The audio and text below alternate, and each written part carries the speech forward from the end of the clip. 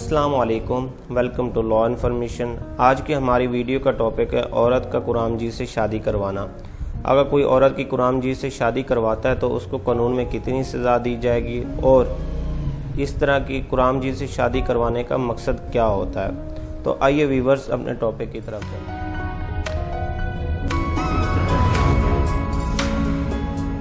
आज से कुछ अर्सा कबल हमारे माशरे में ये रिवाज आम चल पड़ा था कि औरत की कुराम जी से शादी करवा दी जाती थी।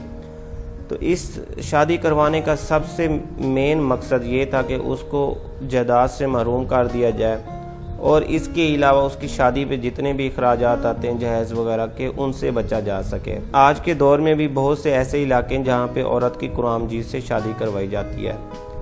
ये बिल्कुल एक गैर कानूनी गैर इखलाकी अमल है।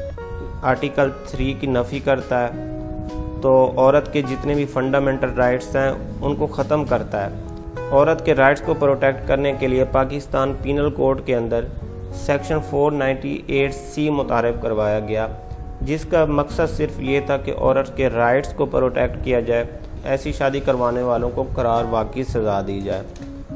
बात करते हैं सेक्शन 490 सी क्या कहता है। कोई भी शख्स जो किसी भी औरत को मजबूर करता है, वो कुराम जी से शादी करे, या ऐसी शादी का इंतज़ाम करता है, या वो सहूलत कार बनता है, ऐसे शख्स को कानून में सज़ा दी जाएगी।